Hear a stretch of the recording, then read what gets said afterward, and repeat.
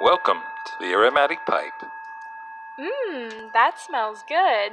Hi, I'm Steve, and I like to talk about the art and pleasure of smoking aromatic pipe tobaccos. And, and today I'm going to be reviewing Peterson's Sweet Killarney. On their website, Peterson says, a unique mixture of selected tobaccos, including Virginia Burley, blended with some black Cavendish, and topped with a cream caramel flavor. A final sprinkle of hand-rubbed Virginia flake is added to create a comforting aroma. And they rate it with a medium strength, a strength of 3, an aromatic taste of 3, and a room note of 3. Um, so let's do the tin opening. Okay, so here we go. We're going to break the seal on this puppy. Now this is the second can of this I've had. Been smoking it for a couple weeks. There it was. The vacuum seal broke. We open this up. Nice packaging.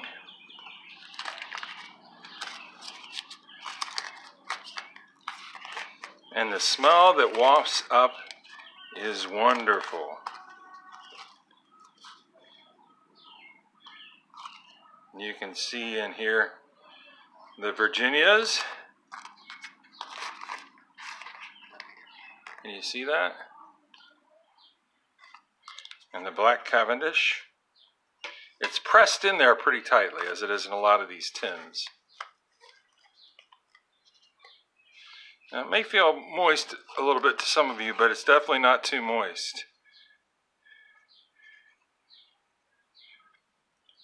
And so you see in here we have some broken flakes as well as the Virginia and the Cavendish. The black there is the Cavendish that's in there.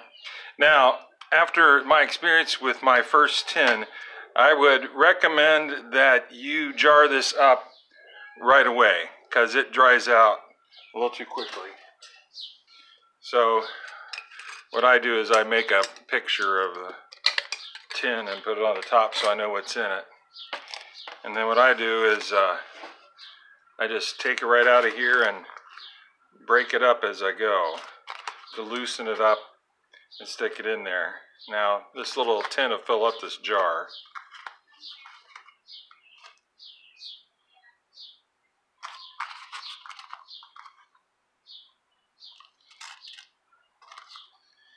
And uh, so you don't need to watch this. So I'll get right back to you. Okay, I've got that all jarred up, and now um, the the pipe I'm going to be using today is. Uh, I thought since we're trying a Peterson's pipe tobacco, I'd pull out my Peterson Shamrock or St. Patrick's Day Billiard, and of course uh, it's the Protestant version with the orange band instead of a green St. Patrick's Day pipe. So you see how I, I, I kind of loosened up that tobacco and really that's what you want to do um, when we talk about the way that I feed things. I like to use the, these, uh, whatever you call these, they look like coffee filters that come in this sometimes, especially with this. Now this is a little more difficult to pack. I usually like to gravity feed, but what's happened is uh, with these flakes, you kind of have to be just pressed down gently. Um, so you know, since I normally pack pretty loosely compared to most people, it's a real light touch on here. It may look like there's more than that. But uh, hopefully you can see that. And then I like to, putting my thumb across the bowl, not down in the bowl, I like to kind of lock those top leaves together. Like that. Maybe just a touch more.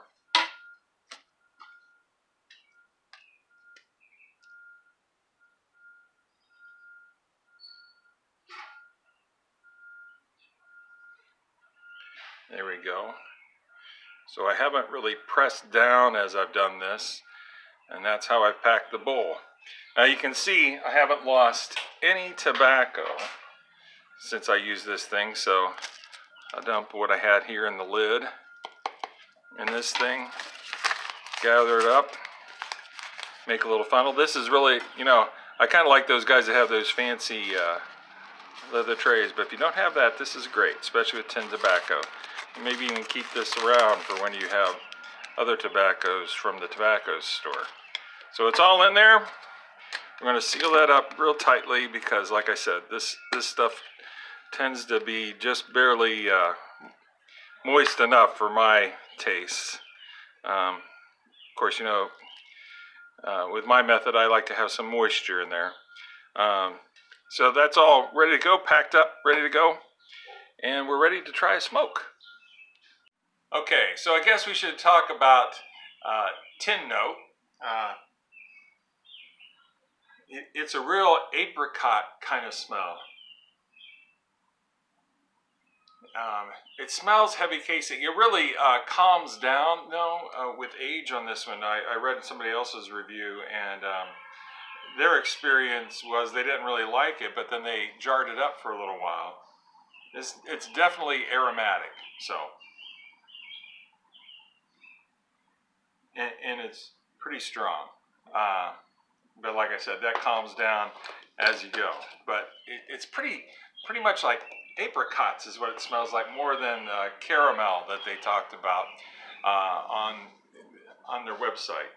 All right, I keep looking the wrong way because I my camera got turned over as I rearrange things here. Uh, what I'm using uh, to drink with this today, as many of you know that I, I like to talk about that, I'm using Sheffield Tawny Port, which is one of my favorite drinks, but especially with this tobacco, as I've learned. Um, and, and we'll get into why that is here in a minute.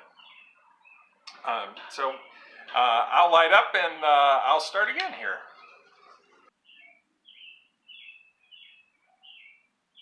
All right, we're going now.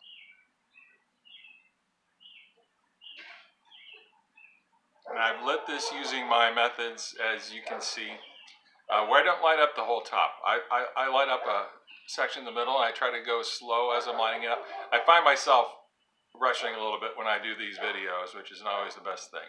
But I like to smoke cool, and that works best with aromatics.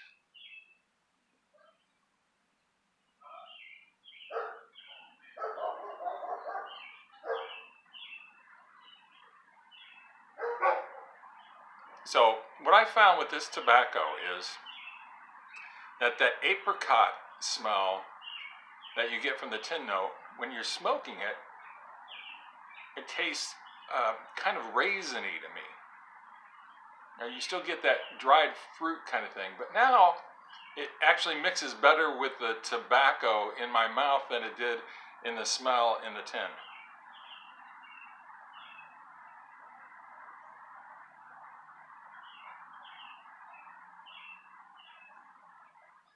The smoke has a nice feel. It's it's a nice uh, thicker smoke. I think they got it right. It, it's it's you know a, a, medium smoke. It's it's a medium taste. Uh, some of the reviews I, I noticed that sometimes when you look at how people review things, you look at some of the things maybe that they do like, and those who like heavy Latakia hits kind of thing, and they're coming off of English as English smokers and they like heavy English, um, this is probably uh, too mild for them. You know, uh, I tend to go for for medium strength. Um, I I I do the opposite of what a lot of people do. A lot of people smoke a lot of English and they'll have an aromatic every once in a while.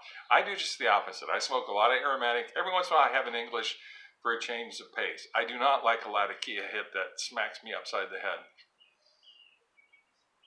So this is perfect for me.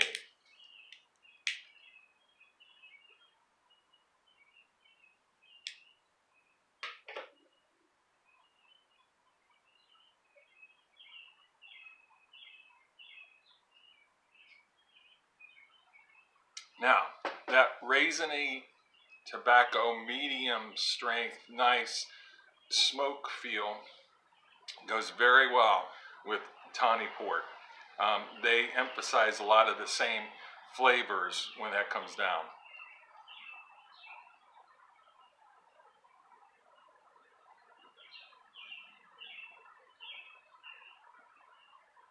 Now, as many of you know, I really like Boswell tobaccos. And this, for me, is a good change of pace. It has um, how do I put this? Uh, it's, it's got like a different sharpness to it uh, that makes it a nice change of pace uh, from my Boswells. But it's still kind of an all day smoke uh, kind of tobacco.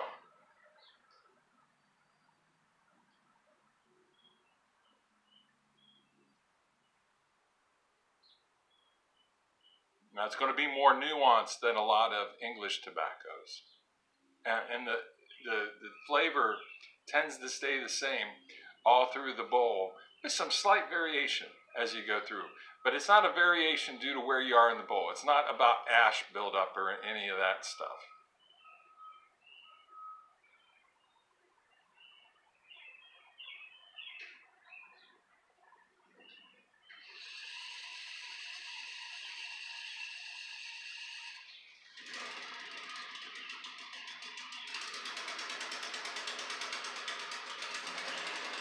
Mechanics on it are, are really good. They, they work out really well. It's not a fussy tobacco. You can uh, smoke this without fussing a whole lot.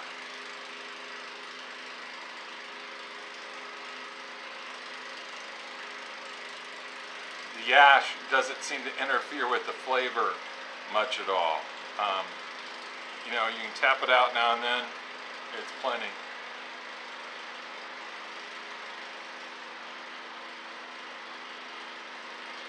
Been smoking this for a couple weeks, and uh, I pretty much smoked the first 10 all the way uh, down. I just had a little bit there. You might have seen it in the jar when I went to fill up that jar that I had a little bit left in the bottom. And, and this is a, a, new tin that I started here because I want to get that fresh. It does mellow out a little bit when it uh, when you age it a little bit, but that first tin, I kept it in the tin rather than transfer it to a jar right away. So I'm actually hoping um, that it holds on a little more to its extra punch. Um, like every tobacco, if it dries out, as it dries out, it kind of mellows out uh, what it does. And so you can mess with it a little bit by messing with the moisture. Um, what I tend to do is, you know, they have those those little metal things that you can put uh, moisture back into it by just putting some water in that. Now, now they recommend on those little humidifiers, they're called, uh, that you dunk them in a glass of water and uh, let them sit there for a little bit before you put it in. What I do is I, I kind of meter that out. If I just hold under the faucet for a little bit, if I just want to add a little bit of moisture back in. I probably tend to like my tobacco a little mo more moist than a lot of the smokers I've seen, and it's because I, I I don't draw on it heavy and I, I don't, you know, tug at it hard.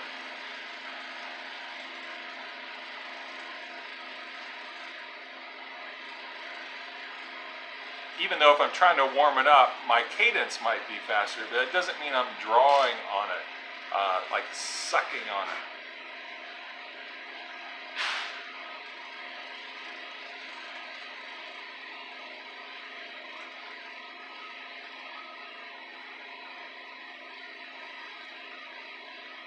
This tobacco, to keep the flavor right, it, it's something that likes to be smoked a little cooler. Um, I did a review not too long ago on the Nutty Irishman. It likes to be a bit warm. This one likes likes to be like in that medium range. There's a lot about this that's kind of in that medium range. It's a nice, comfortable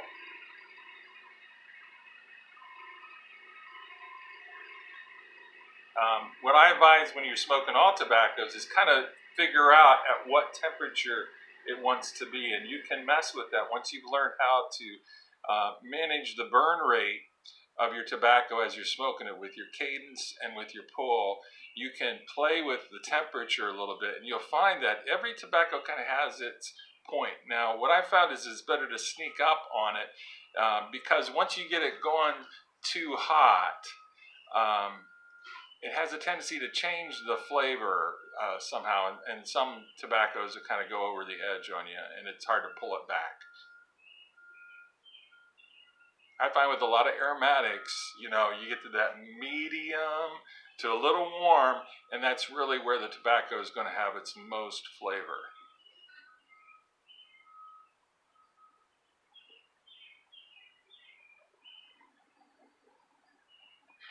I, I like this tobacco a lot. It, it works for me. Um, especially with a tawny port. Um, I should probably report actual results, but I'm new to this tobacco review thing. But I imagine it would go very well with coffee, don't so much about tea my usual favorite drinks. You know, soda. This would go fine with soda. This would go fine with a lot of of different drinks. And again, um, you know, some of the uh, mixed drinks. Now, what I'd be interested to know is, um, I can imagine it go well with beer. Um, I'd be interested to know whiskey. I should probably try whiskey. Um,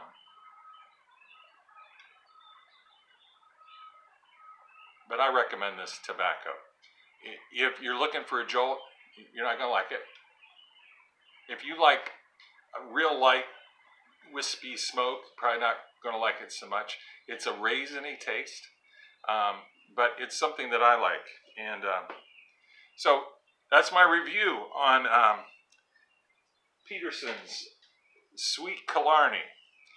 It, it, it gets thumbs up from me. So hope you enjoyed this video.